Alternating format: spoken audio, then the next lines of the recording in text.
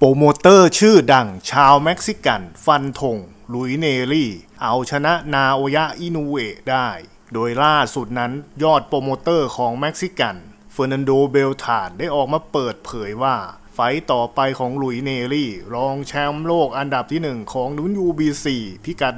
122 ปอนด์จะเป็นการขึ้นชิงแชมป์โลก 4 สถาบันหลักในรุ่นซูเปอร์แบนตัมเวท กับเจ้าของตำแหน่งชาวญี่ปุ่น นาโอยะอินุเวะอย่างแน่นอน ในช่วงราวๆเดือนพฤษภาคมที่จะถึงนี้ เพราะตอนนี้มีการเซ็นสัญญาการชกเป็นที่เรียบร้อยแล้ว โดยทางเบลฐานได้กล่าวต่ออีกว่า ตอนนี้ทางทีมงานได้ทำการยื่นเรื่องขอปลดโทษแบนของเนลลี่ ไปทาง JBC ของญี่ปุ่นแล้ว แต่ยังไม่มีการแจ้งถึงความคืบหน้ากลับมาแต่อย่างใด อย่างไรก็ตาม เขาเองนั้นเชื่อมั่นในพลังหมัดของหลุยส์ เนรี่มาก มั่นใจว่า ถ้าทางนาโอยะโดนหมัดเนรี่เข้าไปจังๆ ก็คงจะทนไม่ได้ อีกทั้งนาโอยะนั้นโชคไม่ค่อยดีกับมวยซ้าย และทางหลุยส์ เนรี่เองก็เป็นมวยซ้ายอีกด้วย เขาจึงมั่นใจว่าหลุยส์ เนรี่ เขาจะสร้างเซอร์ไพรส์บนแผ่นดินญี่ปุ่นได้อย่างแน่นอน เฟอร์นันโด เบลทาน ยอดโปรโมเตอร์ดังของเม็กซิกัน